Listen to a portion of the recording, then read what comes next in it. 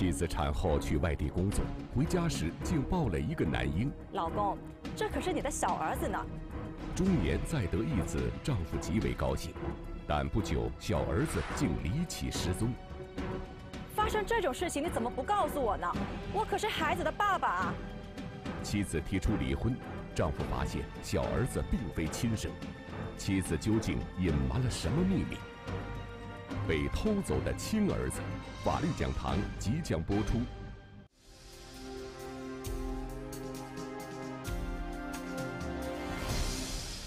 观众朋友们，大家好，欢迎您收看今天的法律讲堂。这天上午，南方某县人民法院的第一审判庭内，正在审理一起离婚案件。原告席上坐着一个女人，年纪啊约莫四十五岁，名叫莫水兰；而被告席上坐着的是她老公赵志高。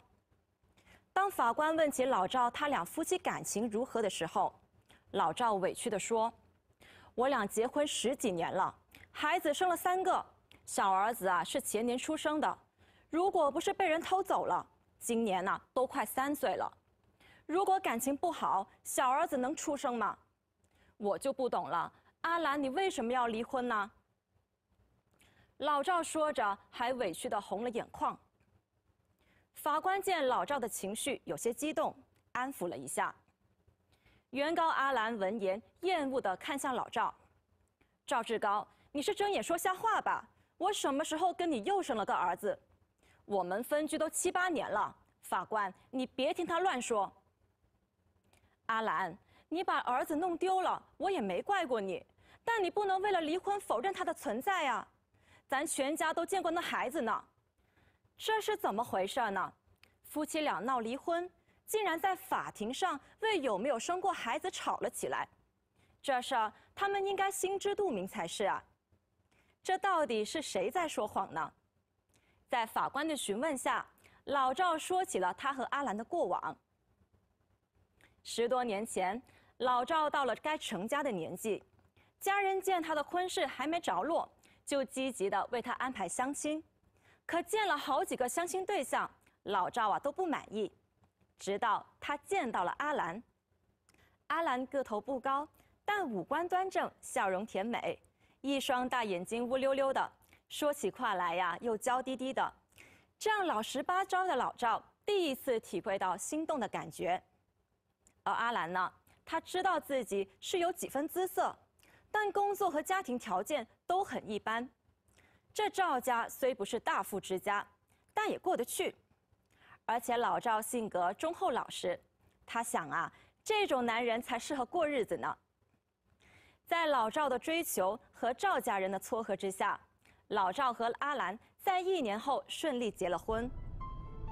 婚后夫妻俩的小日子过得也算安稳，阿兰为老赵生下了一对儿女，做了爸爸的老赵很是欢喜，但他并没有察觉到阿兰的内心早已发生了变化。原来，在阿兰第一次怀孕后，身材是严重走样，这让阿兰的内心很不是滋味。她担心自己变丑了，老公会变心，会出去鬼混。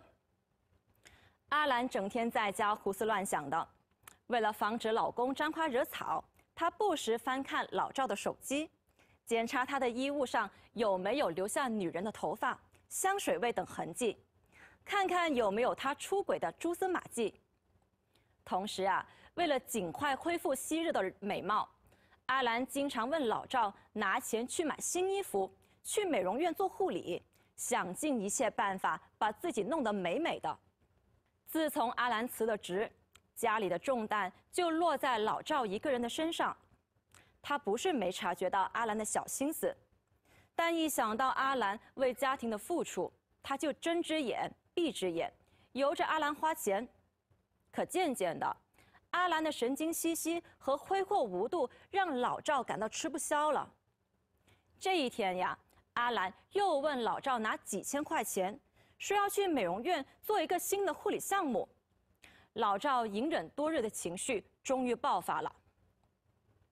阿兰呐，我一个人背起这个家已经很累了，你能不能少花点钱？在我心里，你就是最漂亮的。咱留点钱花在孩子身上不好吗？阿兰听了，觉得老赵是在怪他，情绪也上来了。赵志高，我好看也是给你面子啊，你非要我在家做个黄脸婆，你才安心吗？当年你说过让我一辈子享福的，可我分明是在受罪呢，天天在家带孩子，还担心你会不要我。阿兰越说越委屈，泣不成声。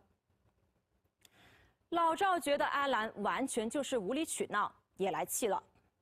不是我说你呀，天天花那么多钱捣鼓着脸蛋，你已经是两个孩子的妈了，你还当自己是个小姑娘啊？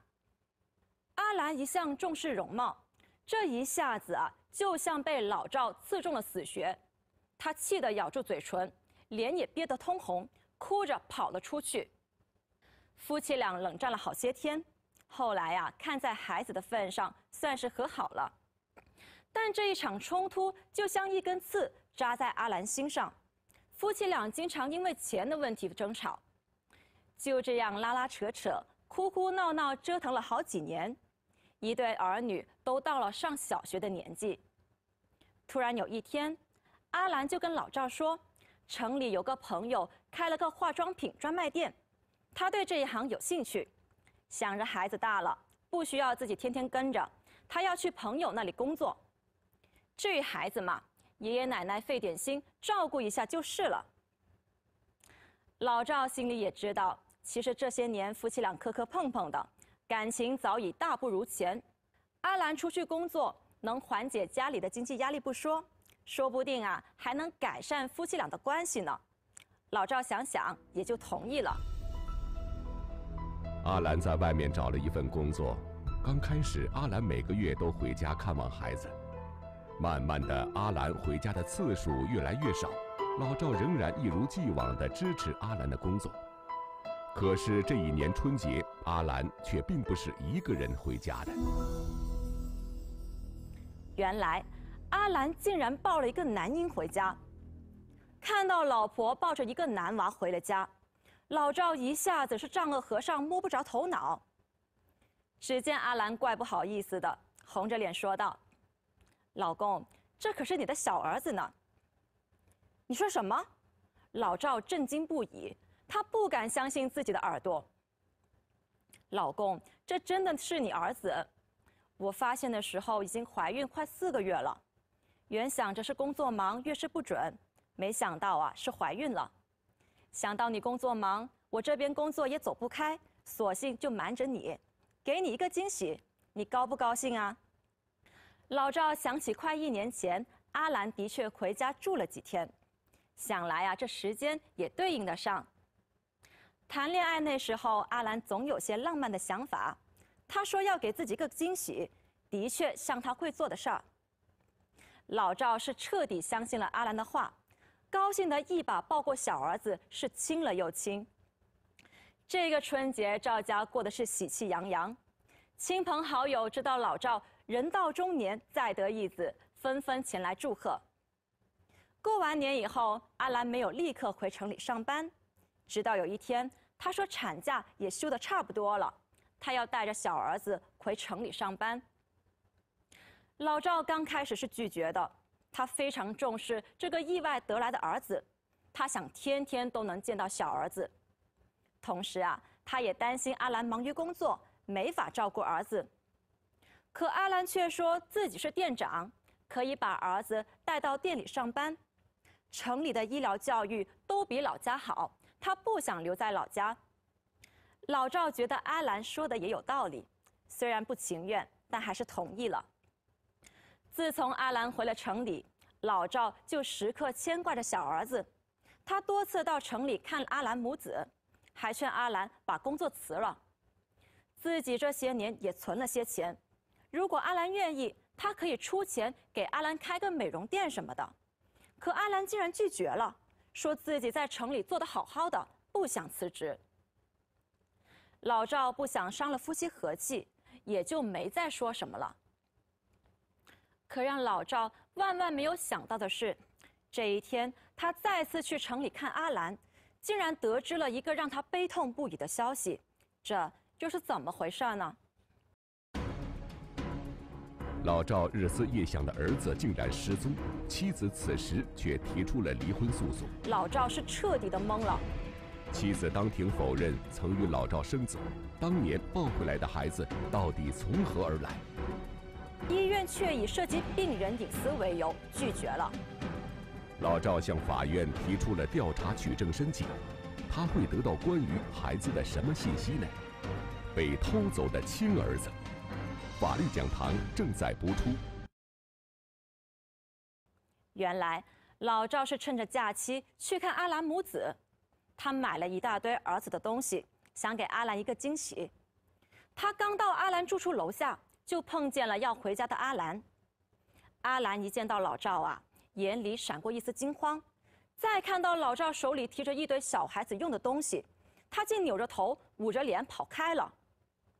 老赵见状，觉得有些奇怪，赶紧追了上去。一问才知道，阿兰说小儿子竟然被人偷走了。我一直不敢告诉你，是怕你伤心。孩子啊，是在门店里被偷走的，我报了警，可快两个月了都没有消息。我想着儿子或许能找回来，便瞒着你。发生这种事情，你怎么不告诉我呢？我可是孩子的爸爸啊！老赵急红了眼。我不是怕你怪我吗？你让我辞职，我又不愿意，带着孩子上班，还把孩子弄丢了。阿兰哭的是上气不接下气。老赵见状，也不忍心再责怪他了。事已至此，老赵只得安慰阿兰。孩子可是娘身上掉下的一块肉，他相信没人会比阿兰更难过了。老赵原想再去公安局了解情况，却被阿兰阻止了。阿兰说，之前自己几乎天天都跑去派出所问情况，警察呢都很尽心，但实在没有进展，说有消息会立马通知自己的。他担心，如果自己再去追问，怕是会打扰到警察的正常工作。也会让警察觉得自己不信任他们。老赵觉得阿兰说的也在理，就打消了去公安局的念头。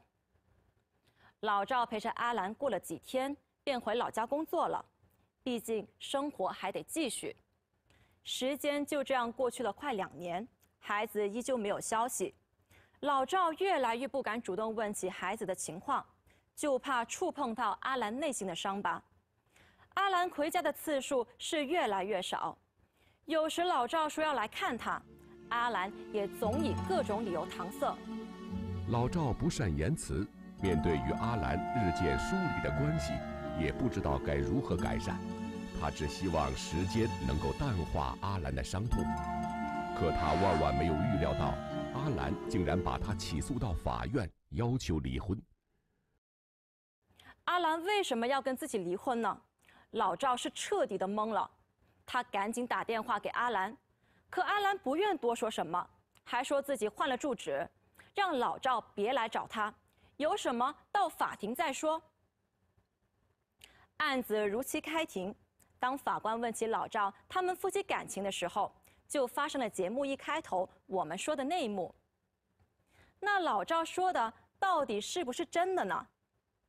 被告。你有证据证明你们又生了一个孩子吗？孩子是阿兰抱回来的，还没来得及上户口，他又带着孩子回城里上班了。后来又说孩子被人偷走了，但我们真的见过那孩子啊。老赵拿不出证据，一脸的为难。由于查清老赵他们是否还生育了一个孩子，对案件的判决有重大的影响。法官酌情再次给予老赵五个工作日的举证期限，案子先休庭。庭后在亲友的建议下，老赵委托了律师，向律师说明情况，希望律师可以帮帮自己。在律师的陪同下，老赵来到阿兰工作的城市，打听阿兰的生育情况，最终得知阿兰的确在前年怀孕，在妇幼医院生了个孩子。一知道这些消息，老赵的律师来到妇幼医院申请调取阿兰的住院记录，可医院却以涉及病人隐私为由拒绝了。在这种情况下，老赵的律师向法院提出了调查取证申请，请求法院去医院调取阿兰住院的有关病历。那法院会接纳律师的申请吗？到这里就要讲到今天的法律知识点：法院调查取证的范围。在我国，法院调查取证的方式有两种，一种是依职权，一种是依申请。前者是法院主动调查取证，后者是当事人向法院申请，否则法院不会主动去调查取证。两种不同的方式下，法院调查取证的范围是不一样的。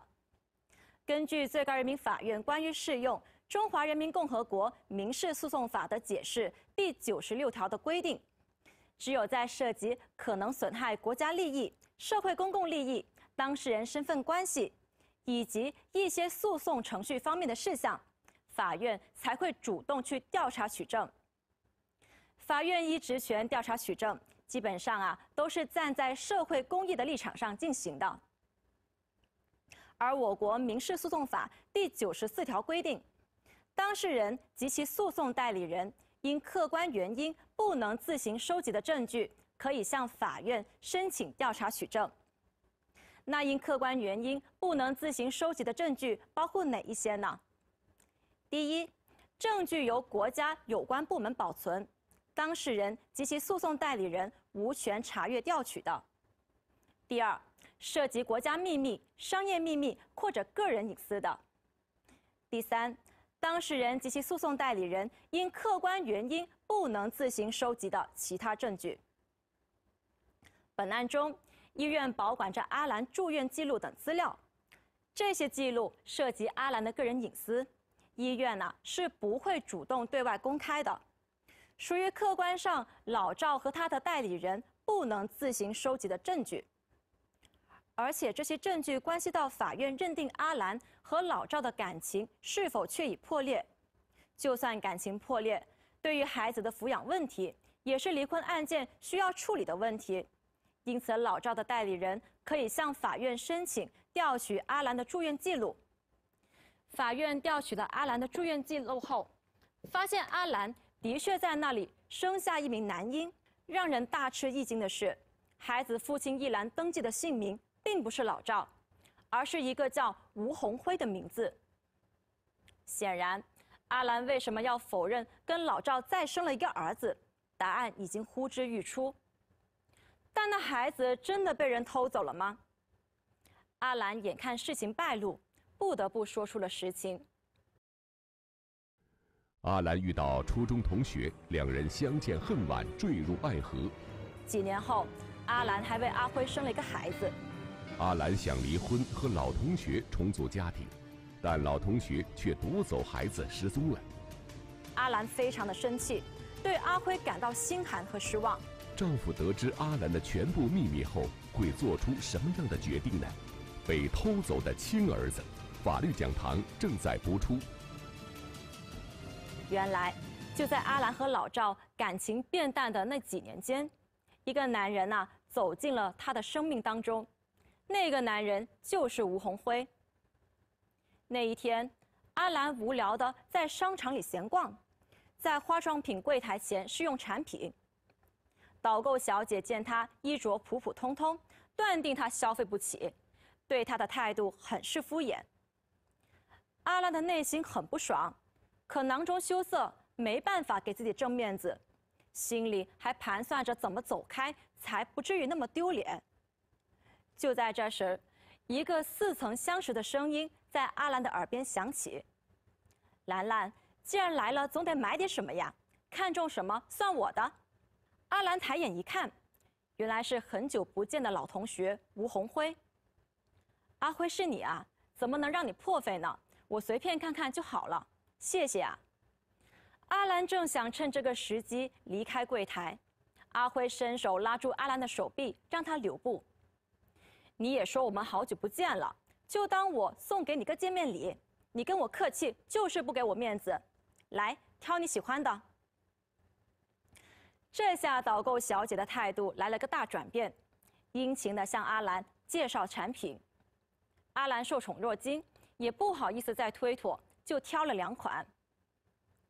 一旁的阿辉始终笑着，任由阿兰挑选，然后刷卡结账。离开柜台以后，阿兰不停地向阿辉道谢。在阿辉的邀请下，两人来到餐厅小坐，话起了当年。原来这个阿辉和阿兰是初中同学，阿辉高大帅气，很受女生欢迎，这当中也包括阿兰。阿辉当年对阿兰也有那么点好感，两个人之间呢也有点早恋的意思。只可惜初中毕业后，阿辉就随父母离开县城到市里上学了，两个人从此少了联系，一段青涩的感情也就此画上句号。为了处理父母早些年在这里购置的房产，阿辉最近回老家住一阵子。这次重逢以后，阿辉和阿兰那旧时的感情似乎又重新萌芽。两个人在那段时间里啊，是经常见面，很是暧昧。阿辉对阿兰的感情一如当年那般美好，并不介意阿兰已婚。对比木讷的丈夫老赵。阿辉不仅事业有成，还风趣幽默，阿兰被阿辉深深的迷住了。阿辉在城里工作，为了争取更多的相处机会，阿辉建议阿兰离开县城到城里，这样两个人就可以天天在一起了。阿兰被爱情冲昏了头脑，没有多想就同意了，顺利骗了老赵去城里工作。来到城里后。阿辉为阿兰租了一个房子，阿兰很是纳闷，觉得自己可以和阿辉同居啊，没必要再浪费一笔房租。但阿辉总是找各种理由搪塞过去，没有正面回答阿兰的问题。阿兰爱的盲目，根本没有深究，对阿辉是言听计从。几年后，阿兰还为阿辉生了一个孩子。阿兰生下孩子后，是坚定了要和阿辉共度余生的决心。她跟阿辉提出要和丈夫老赵离婚，再跟他结婚。阿辉却支支吾吾的不表态。这时的阿兰终于感觉事有蹊跷。很快，阿兰四处打听，竟然发现阿辉是个有家室的人。阿兰这才恍然大悟，怪不得阿辉不愿意跟自己同居。阿兰跟阿辉摊牌，逼他离婚，阿辉一直没有同意。阿兰非常的生气，对阿辉感到心寒和失望。思前想后，阿兰干脆抱着儿子回县城找老赵，告诉老赵儿子是他的。看到老赵很贴心的照顾着小儿子，阿兰很是感动。阿兰回想了一下，觉得老赵其实也挺好的，既然回来了。要不以后就跟着老赵好好过算了。可没多久，阿辉竟然主动来找阿兰，求阿兰原谅他，还承诺会跟老婆离婚，希望阿兰给点时间让他处理这件事儿。阿兰刚为阿辉生下一个儿子，心里啊自然更倾向于他，很快就动摇了。于是阿兰再次谎称要回城里工作，带着儿子去到城里。跟阿辉又一次在一起了。老赵人到中年，再得一子，自然是倍加珍惜，不时到城里探望阿兰母子。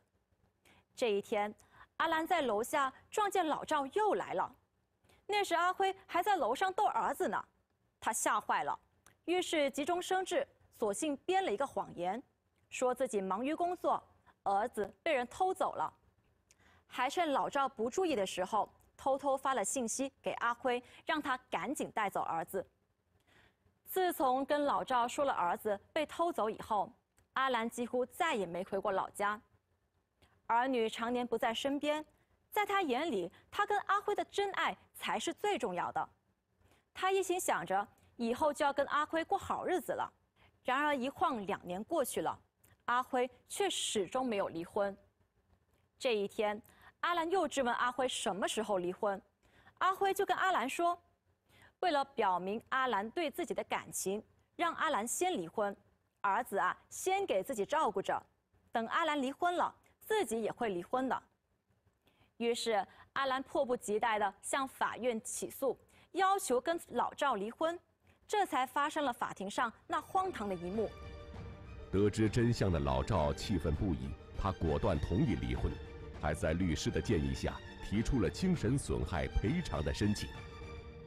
法院经过审理认为，阿兰在婚姻关系存续期间与他人生育一子，严重违反了夫妻间的忠实义务。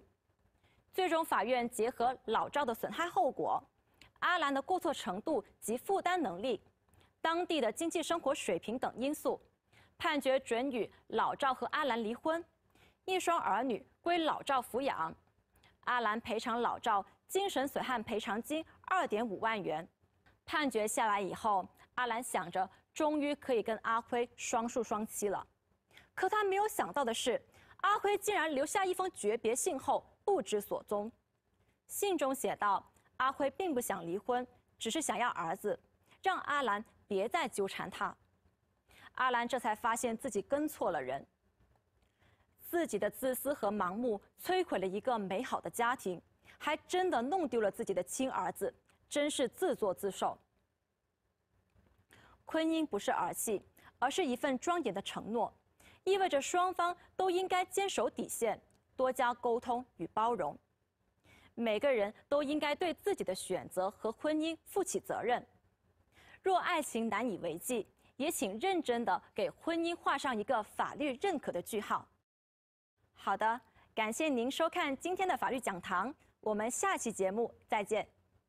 女孩结识富家男友，男友却频频让女孩帮他借钱，利息费、违约金、手续费一共十万。女孩为男友欠下巨额债务，男友却突然消失。敢欠大爷的钱，小心要了你的小命。女孩无助之时，发现自己怀上了男友的孩子，母亲带女孩报警，揭开男友的惊人真面目。男友借钱我来还，法律讲堂下期播出。